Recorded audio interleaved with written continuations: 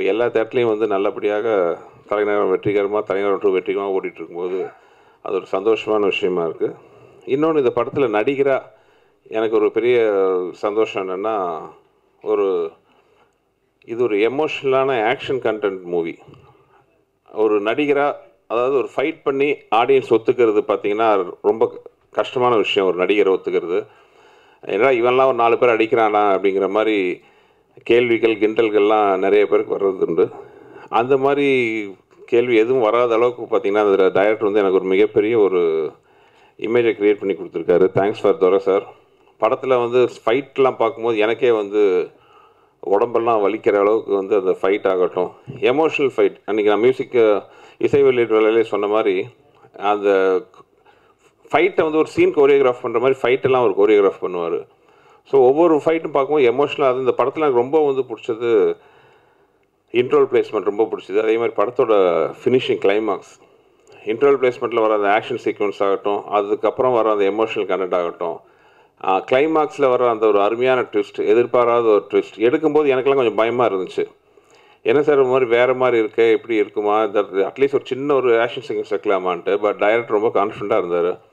படம் பார்க்கும்போது எனக்கு தெரிஞ்சது அவரோட ஜட்ஜ்மெண்ட் தான் வந்து அது பெர்ஃபெக்ட்னு இன்றைக்கி தேட்டரில் வந்து ஆடியன்ஸ் ரசிக்கிறாங்க. எனக்கு வந்து நிறைய பாராட்டுகள் வருது. அது எல்லாத்துக்கும் வந்து துரசாருக்கு தான் என்னோடய முழு முதல் தேங்க்ஸ் சொல்லணும். தலைநகரம் டூ ரசிகர்கள் நல்லபடியாக ரசிக்கிறாங்க. எல்லாத்தோட முக்கியமாக வந்து நீங்கள் அந்த படத்தை வந்து நல்லபடியாக கொண்டு சேர்த்துறதுக்கு உங்களுக்கு எல்லாத்துக்கும் என்னுடைய மிகப்பெரிய என்னுடைய நன்றி. என் இந்த டீம் சார்பாக என்னுடைய நன்றி. கிட்டத்தட்ட எவ்வளோ சொல்கிறது இருபத்தி ஏழு வருஷமாக வந்து உங்களுடைய என்னோடய உறவு தொடர்ந்துட்டுருக்கு என்னன்னைக்கும் உங்களோட ஆதரவு ஒரு அன்பு உங்களோட சப்போர்ட் எனக்கு என்றைக்கு என்றைக்கும் வேணும் என்னுடைய படங்கள் எங்களுடைய டீம் எல்லாத்துக்கும் உங்களோட சப்போர்ட் வேணும்னு சொல்லிட்டு நன்றி சொல்லி விடைபெறுகிறேன். ஷூட்டிங் போனோம். பன்னெண்டு மணிக்கு வரேன்னு சொன்னேன் சதீஷ்ட அவர் வேறு ஃபங்க்ஷன் உங்களுக்கு இருக்குன்னு சொன்னார். அதனால தான் முதல்ல பேசி கிளம்புறேன். தயவு செஞ்சு தப்பாக நினச்சிக்காதீங்க. எல்லாருக்கும் மிகப்பெரிய நன்றி. இங்கே உட்காந்துக்கிற டீம் ஆர்டிஸ்ட் டைரக்டர் அப்புறம் முக்கியமாக அந்த படம் வெற்றி படம் நல்லபடியாக ஓடுதுன்ட்டு நாங்கள் சொன்னால் பத்தாது. உண்மையாக சொல்ல வேண்டியது யாருன்னா தேட்டர் ஓனர்ஸ் டிஸ்ட்ரிபியூட்டர்ஸ் தான். இந்த படத்தை வாங்கியிருக்கிற Vivekanandan sir and Thiru Ravi sir எல்லாம் இருக்காங்க. ஸோ அதுவே வந்து இந்த படம் நல்லபடியாக ஓடுறதுங்கிறது சாட்சி. ரொம்ப சந்தோஷமான விஷயம். படம் முடிந்து ஒரு படத்தோட நடித்த நடிகர்கள் டைரக்டர் தயாரிப்பாளர் விநியோகஸ்தர்லாம் வந்து ஒற்றுமையாக உட்காந்துருக்கிறது வந்து ரொம்ப ஒரு சந்தோஷமான ஒரு விஷயம். ஸோ எல்லாருக்கும் என்னுடைய நன்றி. பிரபாஸ் சார் எல்லாருக்கும் என்னுடைய நன்றி. Thank you thank you Thalainagaram two. Thalainagaram two படம் எடுக்க ஆரம்பிச்சதுலேருந்து தலைநகரம் ஒன்றை பற்றி ஒரு பெரிய கம்பேரிஷன் அந்த படம் வந்து ஒரு கிரேட் மூவி அதை வந்து வி கேன் நாட் ரீப்ளேஸ் அந்த படத்தில் வந்து வடிவேல் சாரோட ஒரு காமெடி வந்து ஒரு பெரிய ஐக்கானாக இருந்துச்சு. ஸோ அப்போ நீங்கள் கேட்கலாம் அப்போ எதுக்குடா நீ வந்து தலைநகரம் டூ டைட்டில் எடுத்தேன்னு கேட்கலாம். அதுக்கு நான் கரெக்டான எக்ஸ்ப்ளனேஷன் கொடுக்குறேன். எனக்கு என்னென்னா என்னோடய ஸ்கிரிப்டில் வந்து ஒரு எக்ஸ் ரவுடி கேரக்டர் தேவைப்பட்டுச்சு அதுக்கு வந்து ஒரு நேம்டு ரவுடி இருந்தால் பெட்டராக இருக்கும்னு எனக்கு ஃபீல் இருந்துச்சு. அதாவது ஒரு இதுக்கு முன்னாடி ஒரு ரவுடியாக இருந்திருக்கான் அப்படின்னு ஒரு ஃப்ரெஷ்ஷாக ஒருத்தரை சொல்கிறத விட ஆல்ரெடி அவங்க நடித்த படத்தில் ரவுடியாக ஒருத்தர் ஃபேமஸ் ஆகியிருந்தாருன்னா அது ரொம்ப ஹெல்ப்ஃபுல்லாக இருக்கும்னு நினச்சேன். அதுக்கு வந்து நான் சுந்தர் சார் தான் ஹீரோ அப்படின்னு சொன்னப்போ தேங்காட் அவர் வந்து தலைநகர்னு ஒரு படம் நடிச்சிருக்காரு. ரைட்டுன்னு ஒரு கேரக்டர் இருக்குது. அதை யூஸ் பண்ணலான்னு சொல்லிட்டு வி பிளான்டு ஃபஸ்ட்டு வந்து we plan only we just took days the character name right from the Thalainagaram one அதுக்கப்புறம் தலைநகரம் டூ தலைநகரம் டைட்டிலே கேட்கலாமான்னு கேட்கும்போது ஆஸ்கார் ரவிச்சந்திர சார்ட்டு தான் அந்த டைட்டில் இருந்துச்சு. நான் கேட்டவுடனே அவர் வந்து ஒரு செகண்ட் கூட யோசிக்காமல் உடனே வாங்குறதுரை நான் என்ஓசி போட்டு கொடுத்துட்றேன்னு சொல்லிட்டு சொன்னார். Thank you sir thank you Ravi sir அவரோட பிரதர் சுரேஷ் சார் ரெண்டு பேர்த்துக்கும் ரொம்ப தேங்க்ஸ் சொல்லிக்கிறேன். அதுக்கப்புறம் அந்த டைட்டில் வச்சோம். ரெண்டாவது அது வந்து லாங் பேக்காக இருக்கிற ஒரு ஃபிலிம்மு அவ்வளோ லாங் பேக்கில் இருக்கிற ஒரு ஃபிலிம்மு இந்த ரைட்டுன்னு கேரக்டர் வந்து எல்லோரும் மறந்துருப்பாங்களா அப்படிங்கிற ஒரு பெரிய கொஸ்டின் இருந்துச்சு ஆக்சுவலி தேங்க் காட் வந்து அந்த ரைட்டோட கேரக்டரைசேஷனை வந்து யாரும் மறக்கலை. இன்ஃபேக்ட் அதில் இருக்கிற டைலாக்ஸ் முதல் கூட மறக்கலை. பிஜிஎம்ஸ் மறக்கலை. எதுவுமே மறக்கலை. அப்புறம் எனக்கு முன்னாடி இந்த ஒரு மிகப்பெரிய கொஸ்டின் என்னென்னா நம்ம எப்படி வந்து தலைநகரம் அப்படின்னு வச்சோன்னே it is not a sequel there is no connection between one and two so இது வந்து ஆடியன்ஸுக்கு ஃபஸ்ட்டு புரிய வைக்கணும். வடிவேல் சார் இல்லைங்கிறதையும் புரிய வைக்கணும். இது ஒரு ஃப்ரெஷ்ஷான ஒரு ஸ்கிரிப்டு இதை ஃபஸ்ட்டு புரிய வைக்கணும். ஏன்னா அவங்க உள்ளே வரும்போது அவங்க எக்ஸ்பெக்டேஷன்ஸ் வந்து அந்த வடிவேல் சார் காமெடி தான் பார்ப்பாங்க. இதில் காமெடிக்கே இடம் இல்லை. நோ பேஸ் அது வந்து ஒரு ஒரு இன்டென்ஸான ஒரு ஆக்ஷன் ஒரு பேஸில் இருக்கிற ஃபிலிம்மு ஸோ இதெல்லாம் எப்படி நம்ம மேனேஜ் பண்ண போகிறோம் அப்படின்னு சொல்லிட்டு ஒரு ஒரு நம்பிக்கையோட ஒரு ஒர்க் பண்ணோம். எங்கள் டீம் எல்லா மெம்பர்ஸ்கிட்டையும் நான் போட்டு காமிச்சேன். எல்லாத்தையும் ஒரு கான்ஃபிடண்ட்டாக இருந்தோம். தேங்க் காட் தேங்க் அல்லா படம் பார்க்குற படத்துக்கு மெயின் முதலாளிங்கிறது வந்து audience for example we take ஒரு ஹோட்டல் இண்டஸ்ட்ரினா கெஸ்ட் இஸ் த காட் அப்படி பார்க்க. நம்ம இண்டஸ்ட்ரி பொறுத்த வரைக்கும் மக்கள் தான் காட் ஸோ அவங்க என்ன சொல்லுவாங்கங்கிறது எனக்கு ஒரு பெரிய ஒரு எக்ஸ்பெக்டேஷனாக இருந்துச்சு. அண்ட் மோர் தென் தட் உங்கள் எல்லாத்துக்கும் நல்லா தெரியும். மற்றவங்களோட என்டர்டெயின்மெண்ட் வந்து நம்மளுடைய ப்ரொஃபஷ்னல் ஸோ அவங்கள என்டர்டெயின் பண்ணுற ஒரு விஷயத்தை வந்து நம்ம ப்ரொஃபஷனலாக எடுத்திருக்கோம். So how you are going to entertain them no comedy no song அப்படிங்கிற ஒரு பதட்டத்தோடயே இருந்தேன். பை காட்ஸ் கிரேஸ் படம் பார்த்துட்டு வெளிவர அந்த கடவுளாகிய அந்த ஆடியன்ஸ் வந்து என்ன சொல்லுவாங்கன்னு பார்க்கும்போது அந்த மக்கள் ரிவ்யூ வந்து எனக்கு மிகப்பெரிய ஒரு ஆறுதலை கொடுத்து ஃபஸ்ட் டைம் அவங்க வெளியே வந்ததுக்கப்புறம் அவங்க இந்த ஜானருக்கு அடாப்ட் ஆகி அவங்களோட ஒவ்வொரு ரிவ்யூலையும் இந்த படத்துக்கு காமெடி தேவையில்லை. ஃபாஸ்ட் பேஸில் இருக்குது ரொம்ப இன்டென்ஸாக பண்ணியிருக்காங்க. ஆக்ஷன்ஸ் எல்லாம் ரொம்ப சூப்பராக இருக்குது ஃப்ரெஷ்ஷாக இருக்குது அப்படின்னு சொல்லும்போது மைக்கு நீட்டி இந்த எடுத்தவங்க தலைநகர் ஒன்றை பற்றி கேட்குறாங்க அப்போ எனக்கு பக்குன்னு இருக்கு. அப்போ அவங்க சொல்கிறாங்க இல்லை இல்லை தலைநகர் ஒன்னோட பெட்டராக இருக்குது ஒன்னோட நல்லா இருக்குது இந்த படத்துக்கு காமெடி தேவையில்லைங்கிறாங்க. அப்போவும் இந்த மைக்கு நீட்டுறங்க விடுறதில்ல. சார் வேறு ஏதாவது சொல்லுங்கள் காமெடி இல்லாத மைனஸாக தெரியுதா? இல்லை சார் மைனஸாக தெரில இல்லை நல்லா சொல்லுங்கள் யோசிச்சு சொல்லுங்கள் மைனஸாக தெரியுதா? வேற என்ன மைனஸ் இருக்குன்னு? ஸோ அவங்கள திருப்பி திருப்பி கேட்குறாங்க பார்த்துட்டு இருக்கேன் எனக்கு பக்கு பக்குன்னு இருக்கு. ஏன்டா அவன் தான் வேன் நல்லா இருக்குங்கிறத விட்டுருங்கன்னாக்க விட மாட்டேங்கிறாங்க. திருப்பி திருப்பி கேட்டாங்க. பட் கடவுள் புண்ணியத்தில் அவங்க எவ்வளோ தடவை கேட்டாலுமே மக்கள் நல்லா இருக்குங்கிறத ரொம்ப ஸ்ட்ராங்காக சொன்னாங்க. அதுக்கு ரொம்ப ரொம்ப மக்களுக்கு மிக மிக பெரிய நன்றி. ரெண்டாவது முந்நூற்றி ஐம்பத்தி ரெண்டு தேட்டர் விவேகன் சார் சொன்னார் மொய்தீன் நம்ம படத்தை அதுக்கு மேலேயும் கேட்குறாங்க அப்படின்னாரு. எனக்கு அப்படியே பக்குன்னு இருந்துச்சு. சார் நம்ம பேசினது வெறும் இரநூறு தேட்டரு நீங்கள் என்ன சார் வந்து இரநூ அப்புறம் சொன்னீங்க இரநூத்தி இருபத்தஞ்சு நீங்கள் அதுக்கப்புறம் இரநூத்தி ஐம்பது நீங்கள் இப்போ என்ன சார் நைட் ஒரு மணிக்கு சொல்கிறார் முந்நூற்றி ஐம்பத்தி ரெண்டு தேட்டர் அப்படின்றாரு தூக்கி வாரி போடுது தலைவா. பெரிய பெரிய ஸ்டார் படத்துக்கு தான் வந்து அவ்வளோ பெரிய தேட்டர் போடுவாங்க. Of course Sundar sir very good hero but நாங்கள் ஒரு சின்ன படம் எடுத்திருக்கோம். இதுக்கு எப்படி சார் இவ்வளோ தே தேட்டர் அப்படின்னு சொல்லும்போது சார் ஒரு வார்த்தை சொன்னார்.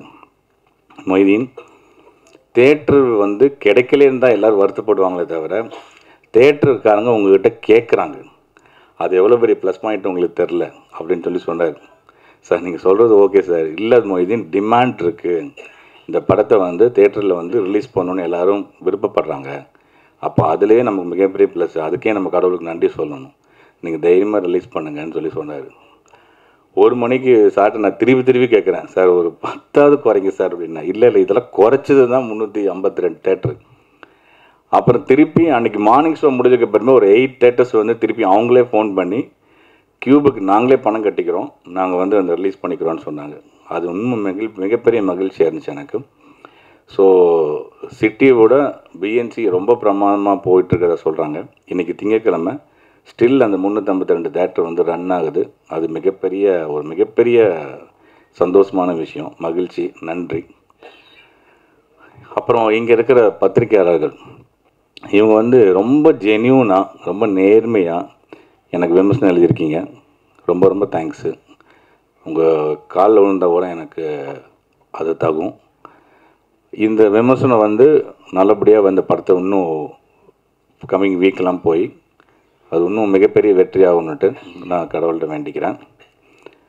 அப்புறம் என் படத்தில் ஒர்க் பண்ண டெக்னீஷியன்ஸ் மியூசிக் டைரக்டர் ஜிப்ரான் அப்புறம் கேமராமேன் கிச்சா என் கூட ஒரு மூணு நாலு படம் ஒர்க் பண்ணியிருக்கான்.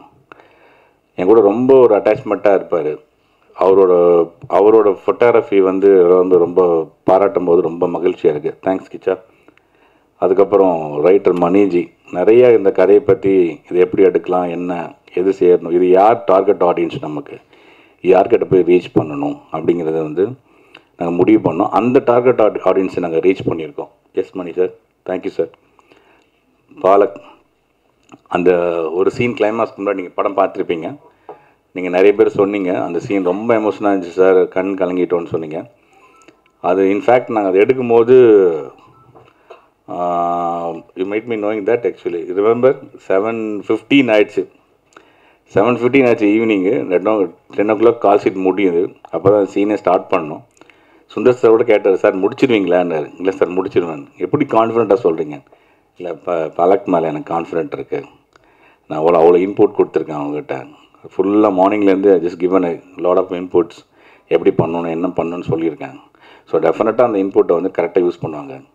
நான் தப்பி தேடி கூட நான் நடித்து காட்டல. அதை அவங்க அப்படியே வந்து அவங்ககிட்ட விட்டேன். ஜஸ்ட் லெஃப்டர் நீங்களே பண்ணுங்கன்னு சொன்னேன். Do it on your own அப்படின்னு சொன்னேன். அதே மாதிரி ஒரு ஷாட்டுக்கு மேலே எடுக்கல. கிச்சாவும் டக்கு டக்குன்னு லைட்ஸ் எல்லாம் பண்ணி இதெல்லாம் பண்ணி ரொம்ப பிரமாதமாக அந்த சீனை இது பண்ணாங்க. ஒவ்வொரு தடவை பார்க்கும்போதும் மோர் தென் அ டைரக்டர் பீயிங் ஆடியன் நான் படம் பார்க்கும்போது எனக்கே வந்து ரொம்ப இம்பேக்டாக இருக்கும் அந்த சீனு அந்த ப்ரெஸ் பீப்புள்ஸும் ரொம்ப நல்லா பாராட்டினீங்க பர்சனலாக என்கிட்ட பேசுனீங்க. I am so thank you so glad of you அப்போ என் தம்பி பிரபாகரன் இந்த படத்தோட producer backbone of the movie ரொம்ப தேங்க்ஸ் பிரபாகரா. இன்றைக்கி இந்த படம் இங்கே வந்து நிற்கிதுன்னா நான் கும்புற அல்லாக்கப்புறம் பிரபாகரனுக்கு நான் தேங்க்ஸ் சொல்லணும். அதுக்கப்புறம் என் ஃப்ரெண்டு மது கோ ப்ரொடியூசர் என்னோடய எல்லா ஸ்ட்ரெஸ்ஸையுமே அவன்கிட்ட தான் இறக்கி வைப்பேன். நான் அதிகமாக ஒரு நாள் பேசுகிறது என் ஒய்ஃப்ட்ட கூட கிடையாது அவன்கிட்ட தான் அதிகமாக பேசுவேன். அதிகமாக திட்டுறதும் அவனை தான் அவ்வளோ திட்டியும் வாங்கிட்டு எனக்காக எந்த பெனிஃபிட் இல்லாமல் எந்த மானிட்டரி பெனிஃபிட் இல்லாமல்